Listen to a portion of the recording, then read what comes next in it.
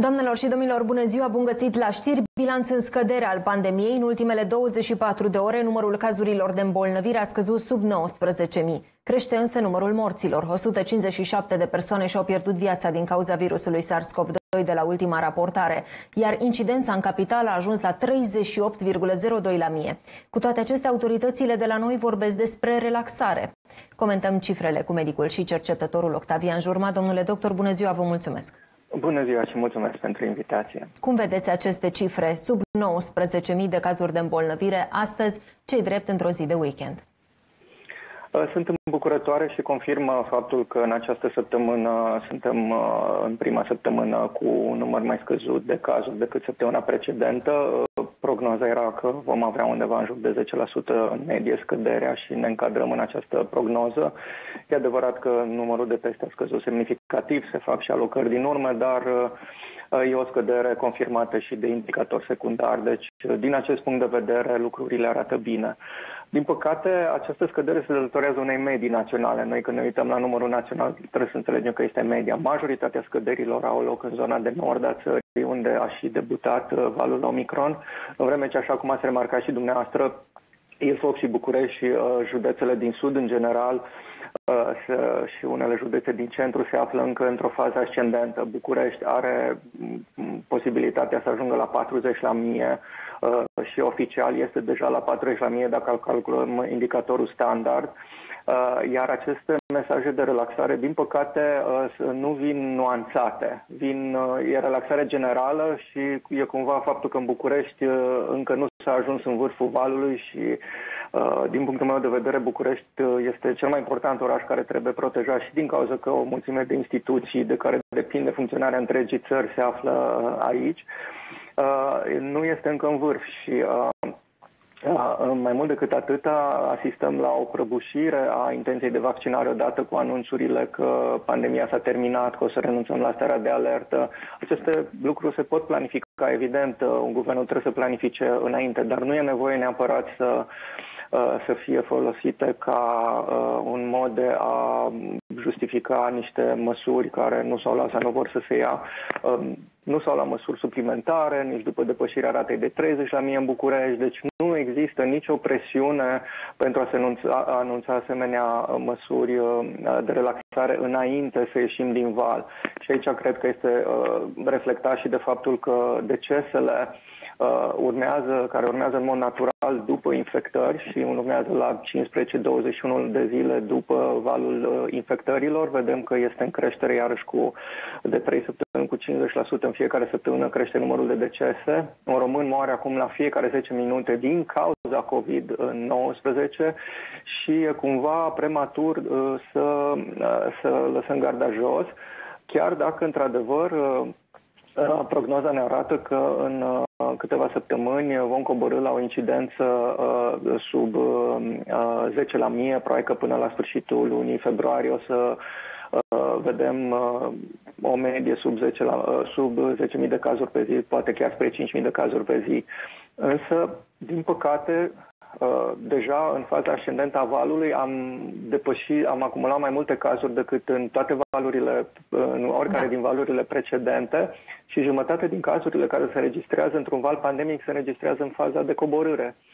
Da. Domnule doctor, ați vorbit despre incidența ridicată din București și um, ați specificat faptul că, iată, capitala încă nu a ajuns în vârf. Când preconizați că lucrurile vor începe să coboare aici? Uh, Uh, așteptarea este să vedem o plafonare și uh, săptămâna viitoare. Deci este uh, depinde foarte mult de această uh, versiune Omicron care se numește BA2, care știm că în țări ca Danemarca și uh, Marea Britanie a încetinit ieșirea din val sau chiar a produs un nou vârf uh, al valului 5. Deci uh, BA2 rămâne o necunoscută în România.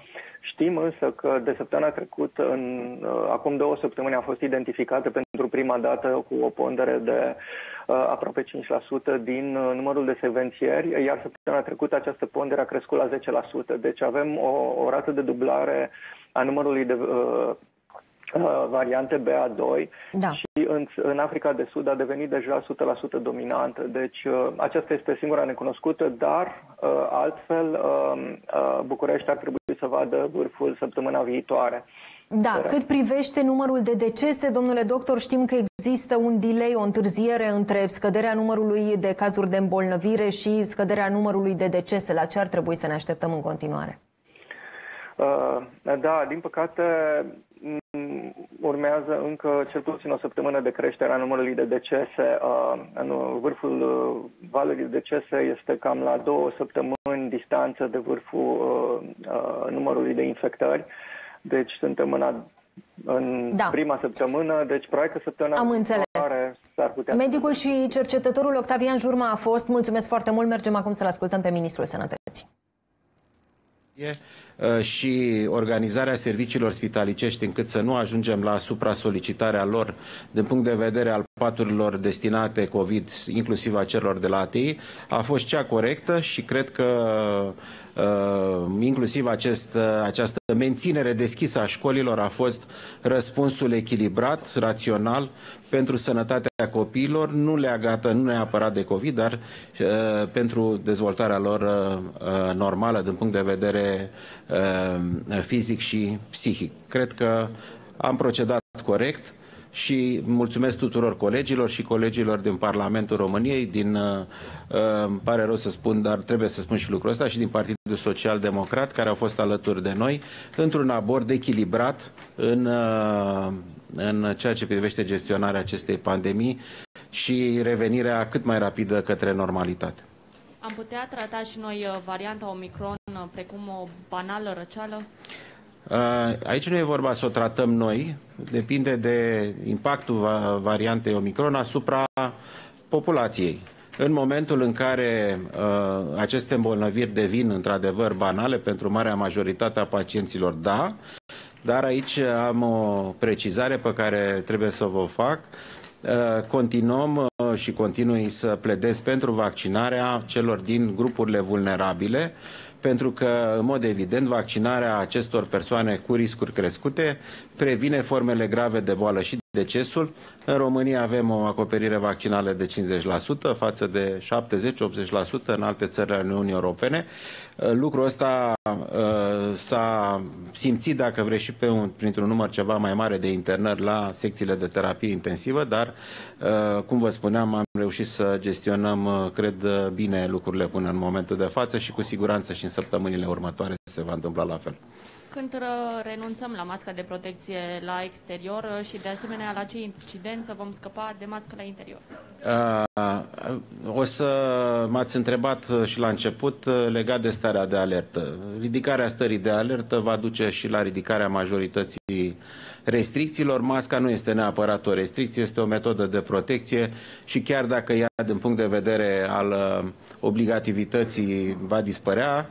Uh, sigur că în interior, în spații aglomerate, cel puțin pentru o perioadă de timp, probabil că vom recomanda utilizarea în continuare a măștii, fără să fie obligație, dar cred că respectul față de celălalt și față de propria persoană până la urmă, cred că este important atunci când uh, utilizăm mască. Cum uh, se vor desfășura evenimentele de tipul festivaluri? Nu? Uh, am o rugăminte. Haideți să nu intrăm în astfel de detalii. V-am spus că vom, uh, vom veni cu precizări suplimentare. Dacă discutăm de ridicarea stării de alertă, evident și restul de activități legate de uh, pandemie vor reveni la normal și n-are rost să intrăm în astfel de amănunte. Mulțumesc! O întrebare. Spuneți-ne... Dacă la microfon, te rog, că nu se aude. Da. Ne puteți spune um, din uh, bolnavi internați la ATI cu COVID, cât sunt cu varianta Delta și... Uh, da, pot să vă spun, am făcut un studiu, uh, el a fost finalizat la sfârșitul săptămânii trecute, peste 350 de probe de la pacienți internați în secțiile ATI, de la toate secțiile ATI din țară, au fost secvențiate la Institutul Național de Boli Infecțioase Matei Balș. Rezultatele preliminare pot să vi le spun, 12,5% dintre pacienți au varianta Delta, restul varianta Omicron, deci unul din opt uh, dintre cei care sunt în secțiile terapie intensivă au uh, uh infecție cu varianta Delta. Uh, în timpul pandemiei s-a angajat personal medical. Ce se va întâmpla cu acest personal după terminarea pandemiei? Ne preocupă foarte mult uh, acest aspect, uh, atât la nivelul unităților medicale, cât și la nivelul direcțiilor de sănătate publică. Uh, mie mi se pare normal și noi vom face, ca și Ministerul al Sănătății, toate demersurile necesare către Guvernul României și către Parlamentul României, încât să găsim o soluție de continuitate pentru acești oameni care au ajutat în mod efectiv, care au demonstrat că sunt profesioniști și mi se pare o nedreptate ca raporturile lor de muncă să înceteze odată cu încetarea uh, acestei pandemii. Cred că avem nevoie de profesioniști în sănătate și cu atât mai mult de cei care au dovedit prin ceea ce au făcut timp de 2 ani de zile că uh, pot să-și facă cu foarte multă uh, dedicație și profesionalism uh, meseria. Ce ne spuneți, se mai prelungește starea de alertă? Este aceeași întrebare. V-am spus că starea de alertă se va renunța la starea de alertă în momentul în care uh, indicatorii epidemiologici demonstrează că uh, transmiterea comunitară a încetat și atunci, într-adevăr, uh, starea de alertă poate fi ridicată în totalitate. Vorbeați de vaccin, domnule ministru. A fost un succes sau un eșec toată această campanie de vaccinare la nivelul României și ce se va întâmpla cu dozele care rămân neadministrate sau sunt pe cale să expire? Uh, campania de vaccinare este cea pe care o cunoașteți dumneavoastră. Nu vreau să fac comentarii legate de succesul sau insuccesul acestei campanii de vaccinare. Uh, am reușit să vaccinăm 50% din populația adultă a României. Uh, este mai puțin decât au reușit alte țări. Uh, în ceea ce privește utilizarea vaccinurilor, s-a discutat asta și la reuniunea ministrilor sănătății din Uniunea Europeană. Uh, cantitățile de vaccin rămase neutilizate la nivelul fiecărui stat membru, pentru că știți că a fost vorba de un contract general al Uniunii cu producătorii de uh, vaccin, uh, vor fi redirecționate către mecanismele Națiunilor Unite, COVAX, sau către donații către alte state membre. Noi am reușit un lucru bun, zic eu, dincolo de donații, încă de la din prima, din a doua lună a mandatului meu, am reușit reușit să uh, direcționăm către Germania, prin vânzare, însă nu prin donație, da? deci prin vânzare o cantitate de 5 milioane de doze de vaccin, uh, atât timp cât va, va, exista, va exista interes în Uniunea Europeană pentru dozele de vaccin din România, care sunt uh, în exces, uh, vom face demersuri ca să le putem uh, vinde. Dacă însă acest lucru la un moment dat nu va mai fi posibil, vom accesa toate căile care au fost stabilite la nivel european și la nivelul Națiunilor Unite privind donarea acestor vaccinuri, încât până la, la sfârșitul acestui an, ăsta este ținta, ca să știți, care este legată de sfârșitul acestei pandemii, 70% din populația globală uh, să fie vaccinată și se consideră că în numai acel moment uh, uh, probabil că imunitatea colectivă este suficientă încât să dispară amenințarea pentru sănătatea publică legată de noul coronavirus. Cu ce urmări credeți că va rămâne populația României la sfârșitul acestei pandemii, având în vedere că timp de 2 ani și un pic ne-am axat foarte mult pe COVID și am uitat oarecum de pacienții care au cancer sau sunt dependenți de dializă, de exemplu? Uh, să știți că uh, e o întrebare bună pe care o puneți. Uh, noi n-am uitat în ultima perioadă, am refuzat uh, orice fel de limitare a uh, accesului pacienților la servicii medicale, mă refer la cei cu alte patologii. Uh, dovadă este că uh, oamenii au putut să meargă să-și facă tratamentele. Uh, am alocat doar 20% dintre paturi pentru pacienții COVID și numărul s-a dovedit suficient.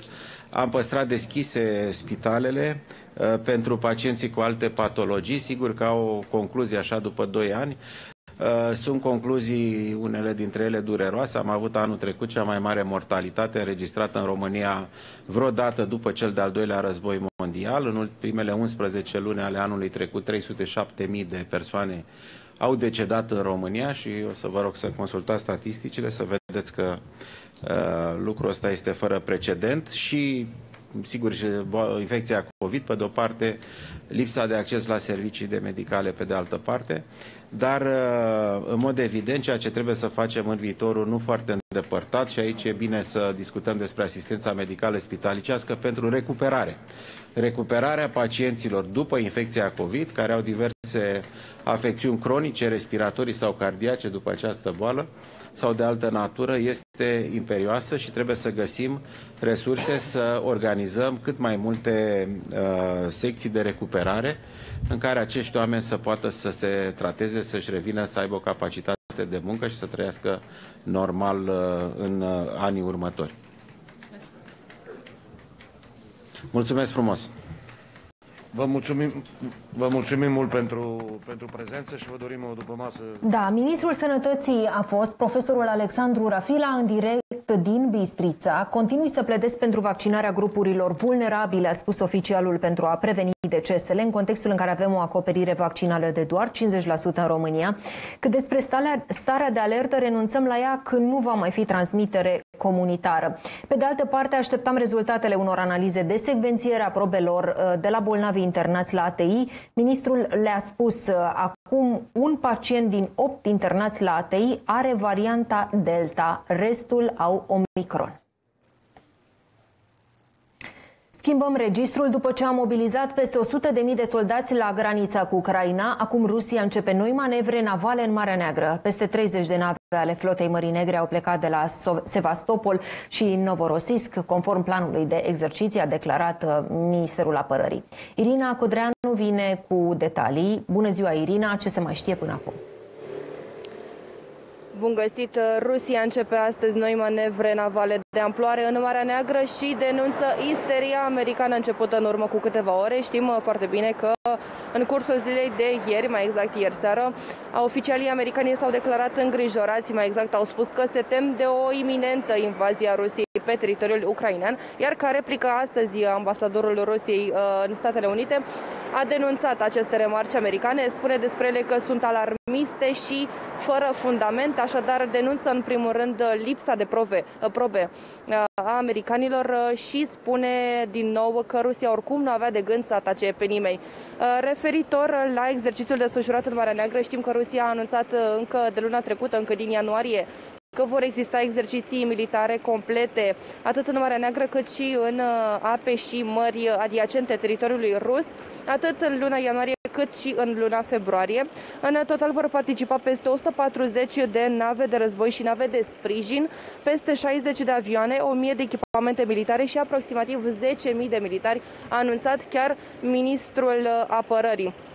Între timp, ministrul ucrainean de externe, Dmitro Kuleba, a anunțat că a declanșat mecanismul de reducere a riscurilor potrivit documentului de la Viena prin care cere Rusiei de urgență, adică în termen de 48 de ore, să explice mai exact despre ce este vorba, ce înseamnă aceste exerciții, ce presupun acestea, câte nave vor participa uh, în apropierea teritoriului uh, Ucrainei.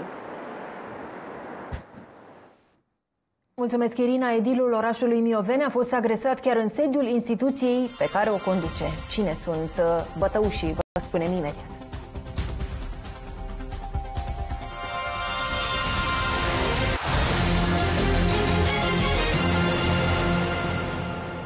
Edilul orașului Miovene a fost agresat chiar în sediul instituției pe care o conduce de patru interlopți din oraș. Agresorii sunt cunoscuți pentru fapte de violență, iar liderul lor este în prezent judecat pentru șantaj.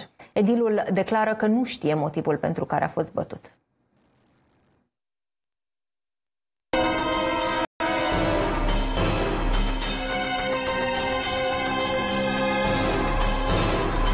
A lovit.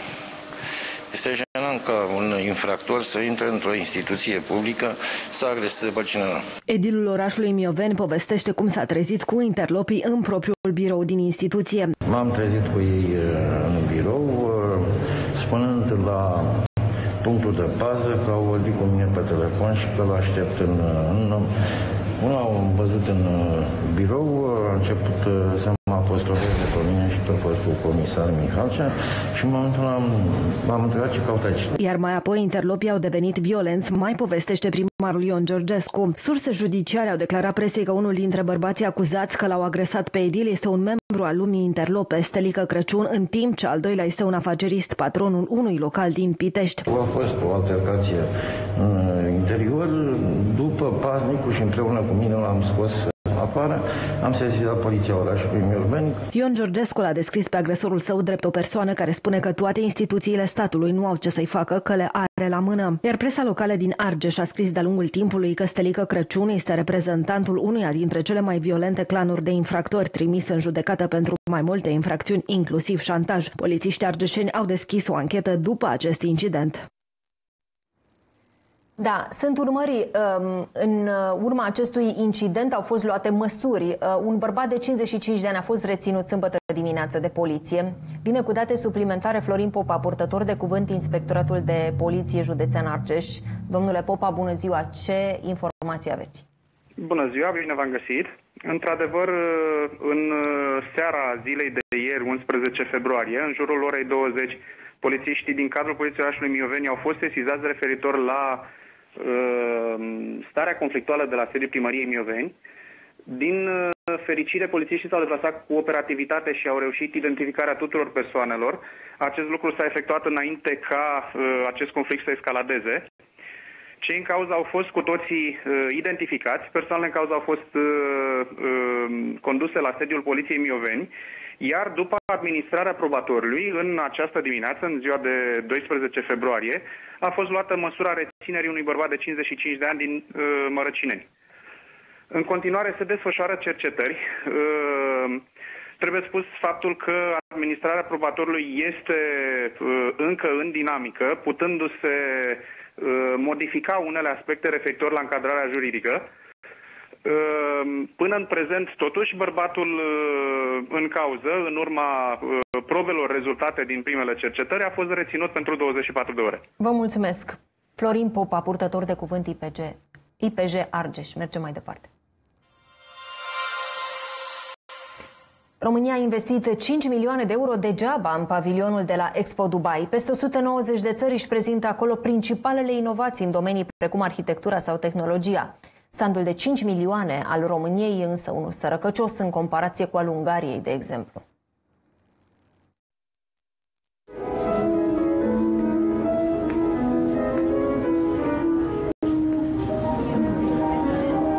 O masă cu câteva sucuri și ape minerale așezate ca la bufet, lângă un perete cu ecrane pe care rulează în buclă câteva imagini. Cam asta oferă standul României la Expo Dubai 2020. Organizatorii au denumit pavilionul New Nature și susțin că este un concept bazat pe echilibrul om-natură care include manifestări umane, dar și aspecte economice și științifice. Oficial, România își propune să aducă în atenția publicului larg potențialul țării noastre din sectoarele de știință, inovație, cercetare și tehnologie, precum și oportunitățile sale economice, culturale și turistice. Ce a ieșit însă pare departe de ce și-au propus cei de la Ministerul Culturii.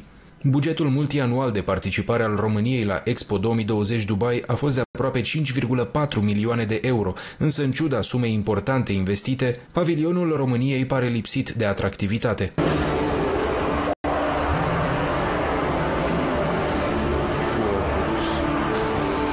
Ungaria pare că întrece România. Pavilionul Ungariei are un design exterior atractiv și își promovează turismul balneo și celebrele facilități de wellness în spa.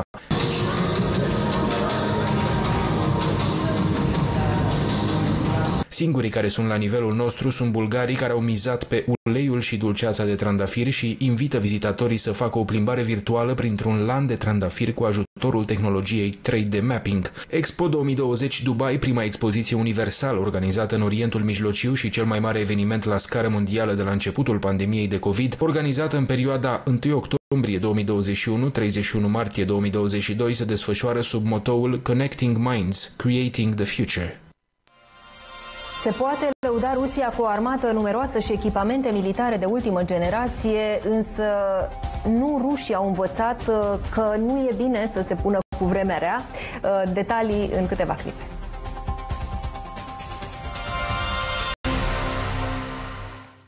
Manifestanții împotriva obligativității vaccinării uh, COVID-19 și-au făcut de cap și în Noua Zeelandă și Australia și antivaxerii din aceste două țări au preluat modelul canadian al convoaielor, au blocat zeci de străzi și au perturbat liniștea mai multor orașe.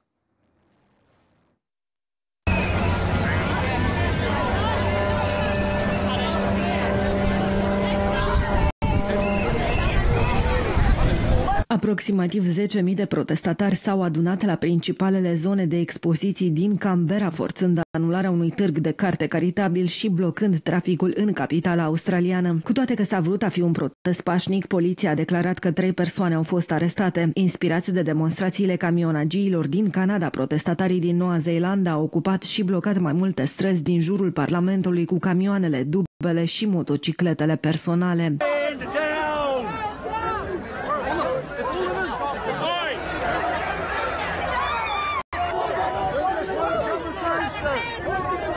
Protestele rămân relativ reduse în Noua Zeelandă și Australia, țări puternic vaccinate, unde majoritatea covârșitoare a populației susține vaccinarea. Cu toate acestea, mișcarea a perseverat, mitingurile devenind ocazional violente. O țară de 5 milioane de locuitori, Noua Zeelandă a raportat puțin sub 19.000 de cazuri confirmate și 53 de decese de la începutul pandemiei. Aproximativ 94% dintre persoanele eligibile sunt vaccinate, vaccinurile fiind obligatorii pentru o parte din personalul care ocupă posturi de primă linie linie. În Australia, care își va deschide granițele pentru turiști la sfârșitul acestei luni, 94% dintre persoanele cu vârste de 16 ani și peste sunt dublu vaccinate. Țara se luptă încă cu un val de variantă Omicron, foarte transmisibilă.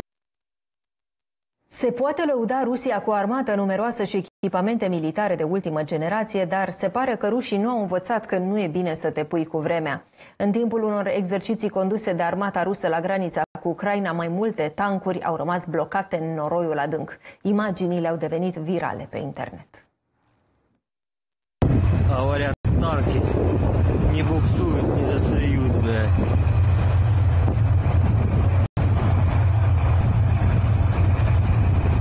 În clip se văd mai multe tancuri blocate în noroi și un bărbat în haine civile care încearcă să tracteze unul din vehiculele de luptă cu ajutorul unui excavator. Aparent, tancurile implicate în incident sunt ultimele modificări ale tancului T-72 numit T-72B3. Luna trecută, surse guvernamentale americane au informat că Vladimir Putin și-ar fi amânat invazia planificată a Ucrainei, deoarece din cauza iernii târzii terenul nu era suficient de solid. Înghețul maxim de care armatele lui Putin vor avea nevoie înainte de a mărșălui spre vest este așteptat în a doua jumătate a acestei luni, potrivit celor raportate. Armatele rusă și belarusă au dat startul joi unor manevre militare pe teritoriul belarus sub numele de cod Hotărârea Aliată 2022, preconizate să dureze 10 zile. Doamnelor și domnilor, acestea au fost știrile. Urmează tot pe 1 cu Irina Petraru. La revedere!